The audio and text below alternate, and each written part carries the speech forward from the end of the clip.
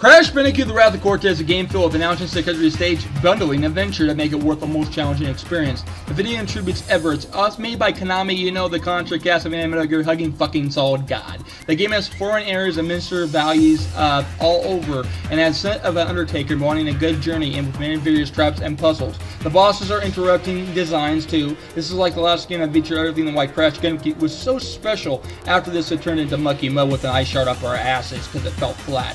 Konami did an impressive job trying to stick with the old school old formula and adding new material as well. So I give this game a flat star rating of 9.9 slash 10. Check it out, Anima Fur Boning Buddies. Love the Burrito Master.